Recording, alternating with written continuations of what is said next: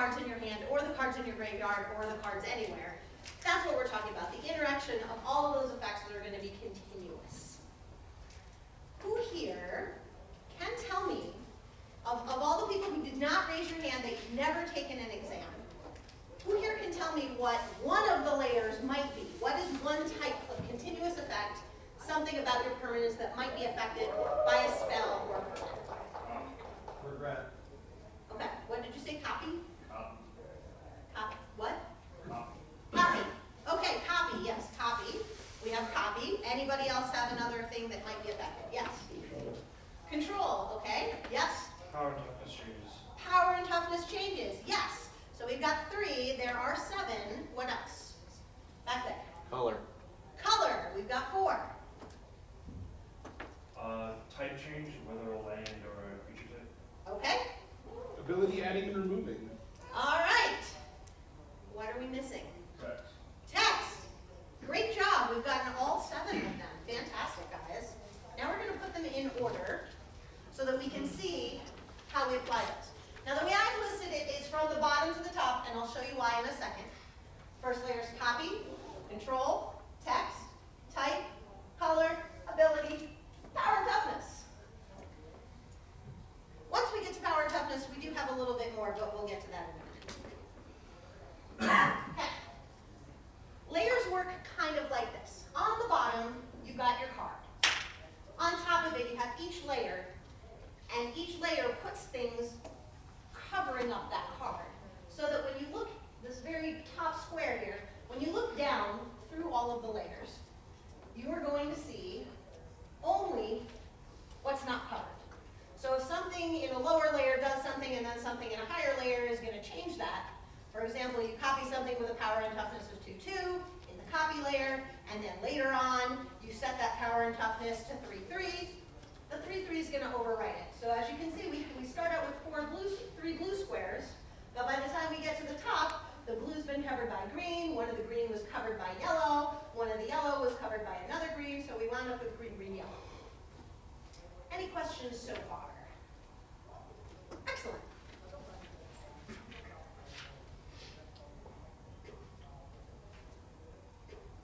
Okay, so first we have the copy layer.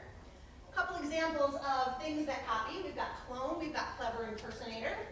Clone will copy another creature as it enters the battlefield. Clever impersonator will copy any permanent that you have. Copyable values, that's the important thing we want to think about in the copy layer. Not everything is a copyable value. Effects that happen in other layers are not copyable values. The copyable values are what's actually printed on the object and also any abilities granted by the copy effect. So if the copy effect says, copy this permanent and it gets this ability that at the beginning of your upkeep you can return it to your hand, then that is part of the copy layer because it was created by the effect that copied it. Other than that, we're looking at name, cost, color indicator, card type, subtype, supertype, rules text, loyalty, power, and toughness. Our next layer is control. In the control layer, we have things like mind control, Act of Treason, permanents which can steal permanents from your opponents. Now you control them instead of your opponents controlling them. That's basically it for the control layer. Our next layer is text. Can anybody think of an example of something that would change the text of a card? Yes, back there. Mind Bend actually just changes the text of a card. Okay, and what was your suggestion? Sleight of mind. Sleight of mind, okay? Time for, uh, you know, color. Sure. Humility? Humility. Now, does that actually change the text of the card? What that does is that grants, uh, that actually removes abilities. That's going to be in the ability layer, so that's not going to be in the text layer. Text, we are just talking about things like, just mind bend. There is one other ability more recently. Yes? Uh, Splinter Twin. Splinter Twin doesn't actually change the text. It's, yeah, an ability. Um, so Cyclonic Rift actually has something that changes the text. If we pay the overload cost, then we are going to replace the word target with the word each. So we're actually changing the text on this spell while it's on the stack. That's what we're talking about with, with text. And we're also talking about mind bend, which of course change the instance of this basic land type or this color word with another one. Yes? Do the laces apply in this layer or in the color layer? Like pure, pure, Purelace and, and, I would have to look up the okay. text for that part unless you know the Oracle text. I, I don't, I just, I think it says replace instances of one land type name with another land type. Okay, name. if it says that, then that's a type change. I mean, if it says that, then that's a text change. If it's changing the type of the card, then that's gonna be in the, in the type layer, yes. Uh, so going back to how they work when you're, with your preface and that, and this layer going with copy, um, replacement effects with the text, Mhm. uh, if you were to copy that, uh, say like Cyclonic Rift, Mhm. uh, is that kind of like a modal spell where if you apply that copy, it's also applying that text change? Okay, so when the spell is on the stack and you're copying it, yes, you are copying which mode you've selected, or the alternate co, in this The case. alternate text? Yeah, you've paid an alternate casting cost, so the spell that's on the stack, um, says each, so you're actually, when you copy the spell, that's a little bit different than when you copy an object. So, uh, similar to what he, is, modal is actually wrapped into this as well?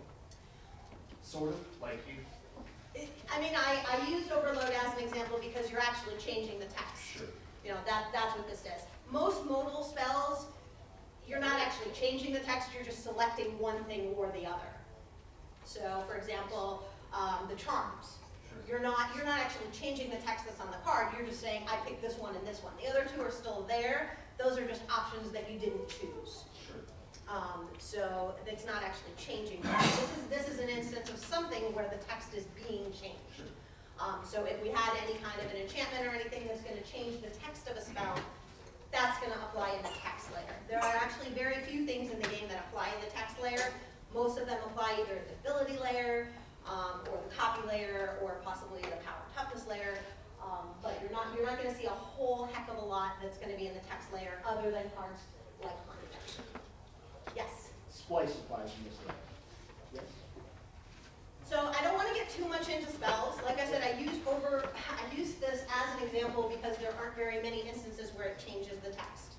Um, splice actually, yes, it adds the text onto the spell, and then when you copy the spell, copying spells is different than copying permanents, so I don't want to get too bogged down into that, uh, because that is, that's going to copy what's on the spell that's on the stack, once you've created the spell on the stack. Um, so any other questions that don't deal with spells, that just deal with permanents? Okay. So after the text layer, we have the type layer. Type, we're looking looking at creature type, uh, creature is a type, artifact, enchantment. We're also looking at subtypes and supertypes. So for example, Mycosynth Lattice turns everything into an artifact in addition to its other types. It doesn't override anything, it just adds artifact. Blood Moon, however, non-basic lands are mountains. That replaces a subtype, so it's a basic land or a non-basic land, but it's a land dash, now it's a land dash mountain, whatever it was before. Doesn't change it into a basic mountain, it just changes it into a mountain. And by doing so, removes the ability that says whatever it says and adds the ability tap for one red. Because it says non-basic lands are mountains and not mountains in addition to their other types, mountain is going to override whatever, uh, whatever subtype they were before. Uh, over here we also have Xenograft, which when it enters the battlefield, choose a creature type, and each creature is now that type in addition to its other types. So you have to look very closely and make sure if something says in addition to, it's not going to wipe out any of the other types. If it's if it doesn't say in addition to, it will supersede the other types. And if it's a type, it'll supersede the type. If it's a super type, uh, it'll supersede the super type. And if it's a subtype, it'll supersede the subtype. So for example, if it says creatures you control are goblins, then if they are a elf warrior, elf is gone, warrior is gone, and now they're just a goblin. It doesn't change the creature part, it only changes the goblin part, elf, whatever that is. Um, any questions about type changes? What if there's two that apply both to the same exact layer? If we have two things, so we have one that says all creatures are goblins, and we have another thing that says all creatures are elves. Anytime we are in any layer and we have multiple things that are happening in that same layer, now we're going to look at timestamp.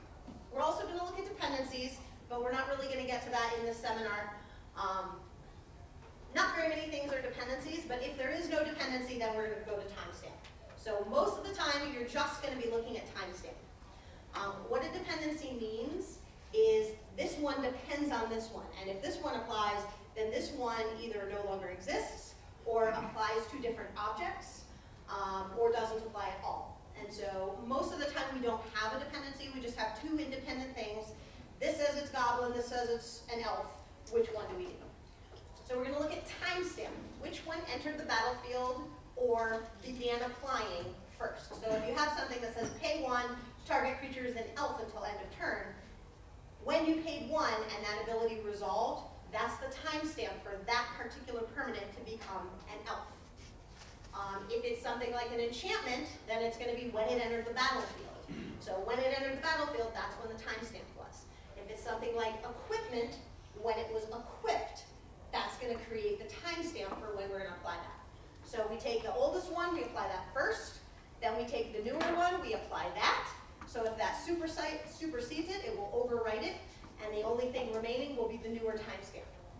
Now if that effect goes away, for example, it's something until the end of turn, and the other one is left, the other one is just a permanent effect, once that end of turn goes away, that other effect is still there. So the important thing to remember is that when we're dealing with layers, you're never actually erasing anything, you're just covering it up with something new. And if that something new goes away, that other something is still there. You just can't see it when you're looking down from the top through the layers. Any other questions on type? Okay. Next we have color. Again, pretty obvious one. All creatures are black. Target creature becomes blue in addition to its other colors until end of turn. We have the same thing here that we saw in the type layer and in any layer really. If it does not say in addition to, then it's going to supersede it and it's going to wipe it out. If it does say in addition to, it's just going to add to it. So for example, if you have these two permanents on the battlefield and you made something into a blue creature until end of turn, and then after that you play Darkest Hour, Darkest Hour has the newer timestamp. So first it's blue, then it's black, and the black removes the blue. So if it was a white permanent to start out with, uh, Indigo Faerie would make it blue and white, and then Darkest Hour comes along and says, nope, now you're just black. Any questions about color? Okay. Ability. We have a lot of things that apply in the ability layer. Um, pretty much anything that's going to be printed in this text box is probably an ability. Uh, so, for example, creatures you control have trample. That's an ability. Creatures your opponents control lose trample and can't have or gain trample. Uh, ability granting, ability losing. Enchanted permanent has indestructible. Indestructible is an ability. Can anybody name some other abilities out there? What else could be an ability? Hexproof. Flying. Lifelink. Reach. Planeswalk. I, what did you say? Landwalk. Yes. Bands with others. Bands with others. You're a Just terrible about person. You're a everything- terrible person. Just about everything you can think of is some sort of an ability. Um, so, uh, how about, um, how about devotion? Is that an ability? Their abilities dependent on it. Does it, yeah, I was gonna say, depends on the uh, card, depends on what the card says. Uh, if it's something like a god that has an ability that says, if there are seven or fewer lands of this kind, or seven or fewer permanents with this as their mana cost, this isn't a creature. Well, that's, that's an ability. So all of that's gonna apply in layer the ability layer. Then we move on to power and toughness. Now, as I said before, power and toughness is a little bit more complicated because there are sublayers for power and toughness. Who can tell me some of the different sublayers of power and toughness? Switching. Switching is definitely one of them, yes. Setting. Setting, adjusting, counters. Okay? Well, there is another one. Does anyone know what the other one is? Characteristic defining abilities, yes. What is a characteristic defining ability? What does that mean? Okay, we have an example. Tarmogoyf. Why is Tarmogoyf a characteristic defining ability and why does that matter? Yes. Um, so, any, anything with a star in its power or toughness, Okay. um, it actually will change the card in any of the zones. Okay. Rather than, like, normally, any of the power toughness affecting things only happen on the battlefield. Okay. So, for instance, Tarmogoyf Mhm. will check all the time. Yes. So the important thing about a characteristic defining ability is that it applies in all zones. So if you have something that is called a characteristic defining ability, or CDA, um, that is gonna apply in exile, that's gonna apply in your hand, that's gonna apply in your library, that's gonna apply in your graveyard. Characteristic defining means exactly what it is. That list of characteristics that we saw in the copy layer, things that would normally be printed on a card, if they are defined by an ability, that is a characteristic defining ability. For example, Tarmogoyf. Tarmogoyf says power and toughness, which would normally be, oh, here we have them in order. Characteristic defining is first, then setting, then modifying, then counters, and then switching is final. So Tarmogoyf says its power is equal to the number of card types among cards in all graveyards, and its toughness is equal to that plus one. That is something that would normally be printed on the card. So we would normally see right here a number, not a star. There are other characteristic defining abilities that don't apply to the power and toughness, such as if it says this card is blue, for example. Um, I think Evermind is the card that, says Evermind is blue. That is a characteristic defining ability that ordinarily would be printed somewhere on the card, and because it isn't printed on the card, it doesn't have a mana cost that makes it blue, therefore it has an ability that makes it blue. Transguild Courier is all colors. So that is an ability that is a characteristic defining ability. Yes? So in the newer cards, uh, they have a, uh, little Color indicator. color indication Color box. indicator, yes. That replaces that line that would say this is now blue, right? Uh, yeah, so, so the purpose of a color indicator is so that when you have something that removes abilities, it doesn't remove the characteristic defining ability that you need to define what color it is.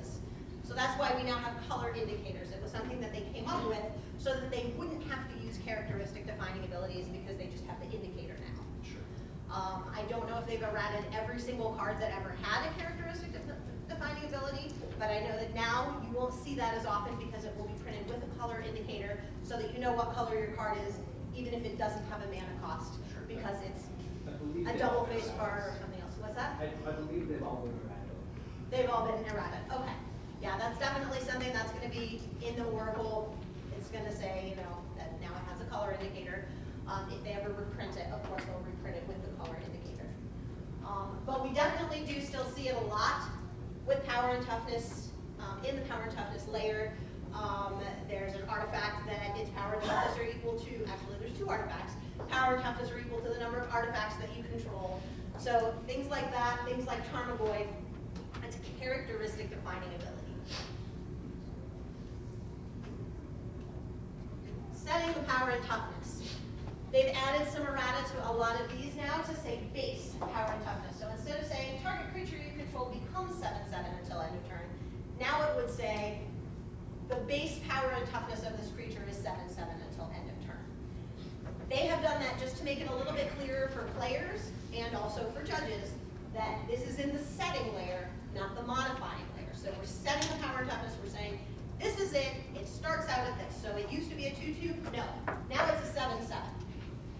Other effects that modify it apply in a different layer. So if it has some sort of equipment or something that's giving it a bonus, that's gonna apply later. First, it's a 7-7. Then we have our modifying layer. Our modifying layer, giant growth. Target creature gets plus three, plus three until end of turn. There are other modifying effects that may last longer than until end of turn. Um, creatures you control get plus one, plus one, or creature tokens you control get plus one, plus one, and have vigilance. Um, the plus one, plus one part, that's gonna apply in the modifying layer.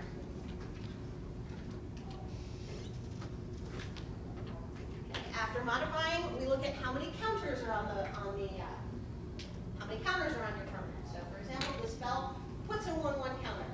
Once the one-one counter is there on the battlefield, it just sits there, and it's on top of whatever's in the copy layer, whatever's in the setting layer, whatever's in the modifying layer, and then on top of it, you have the counters. And then finally, the switching. This is the tricky one. So whenever we have something that says switch power and toughness until end of turn, we are not going to switch it and then add to it and then switch it back and then add to the other number and then switch it back. It doesn't go by time. Time is irrelevant.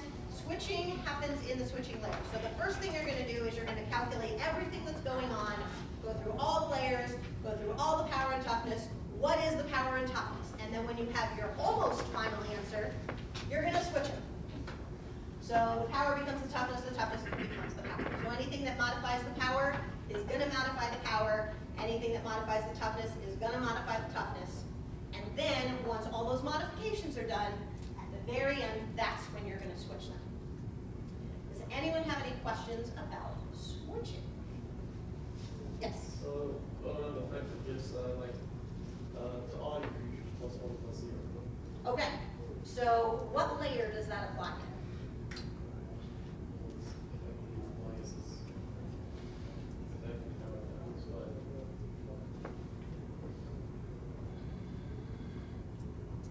Which one of those layers is it going to be?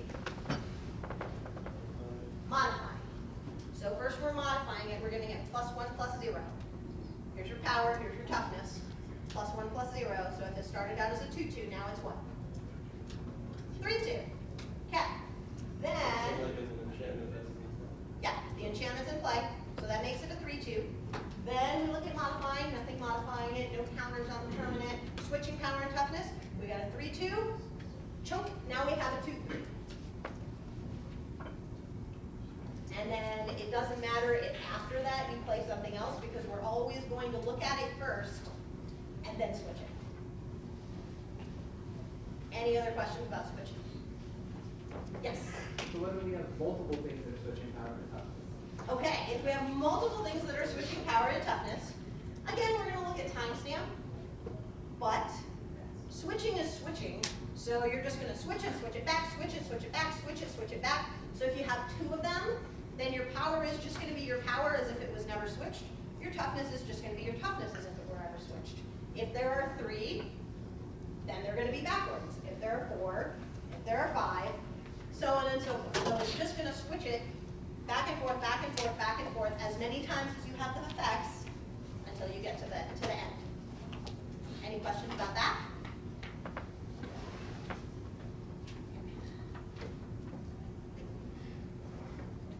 Uh, so we had Craig Puka, Craig, Puka, I always wanna call him Craig, I don't know why. Okay, couple of other things about layers. We talked about this, if we have two things that apply in the same layer, we're gonna apply them in timestamp order. One other sneaky tricky thing, if an effect begins to apply in one layer, it will continue to apply even if it is later removed. So as we're going through our layers, we go one, two, three, four. Okay, in layer four, Heliod says, this is not a creature, or this is a creature. And then we have turn to frog. So if it's a creature, then it's a legal target. So our devotion is five, it's a creature, and then someone casts turn to frog. So up in layer uh, six, then we have, sorry, layer four is the, the type layer.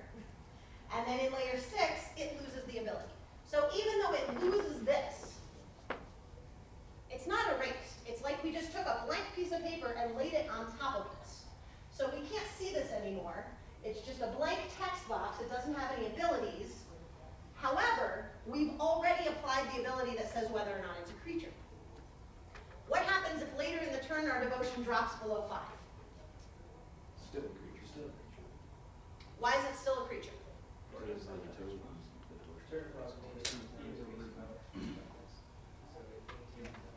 Okay. Did turn to frog turn it into a creature? No, we changed it while it was a creature, giving it the ability to maintain being a creature. Does it say target creature becomes a creature? No. Okay, so it doesn't actually give it the ability to be a creature. All it does is it says this creature is a one-one blue frog. So for example, if you had something that said, this is now an artifact, or, or you turn it into an equipment, you know, target creature becomes equipment or something like that, and it loses its power and toughness, it loses its creatureness, it's not gonna matter what its power and toughness were anymore, because that's gonna get covered up in the type layer by the fact that not a creature anymore. So we have the same thing happening with Heliod. This doesn't grant it the ability to become a creature, it just already is a creature. However, the devotion is in the type layer. So the beam state is constantly checking. It goes through every single layer, and then when it gets to the end, it's gonna say, okay, what do I have? It's constant, that's why it's called a continuous effect. There's no point where it says, oh well, we're not gonna look at layers until we check state-based actions. No, layers always apply. So in this instance, if our devotion drops below five, then it's gonna go up to the type layer and it's gonna say, oh, okay, I'm not a creature. Then it's gonna lose all of its abilities, but it doesn't matter because we've already applied the I'm not a creature to it. And in the abilities layer, because it's lost its abilities and also because it's not a creature, it's just gonna be a legendary enchantment with nothing in its text box. And the one one is gonna go away. It will still be blue. It won't be a frog because it's not a creature anymore. So do we have any more questions about six thirteen point five? So if you regain, um, sorry, if you Yes. regain, um, your devotion, it Yes. still, it turns back into a one-one blue frog. Yes, it will. Okay, that, that's. It will, because that is gonna apply until end of term. So all those effects are still sitting Good, I there. did track. Okay. It's just that when it's, when it stops being a creature, then it just ignores the other ones. And then when it becomes a creature again, oh, they're still there. I'm still the one one move wrong. Okay. Now we have some scenarios for you. Scenario number one. You have a Birds of Paradise.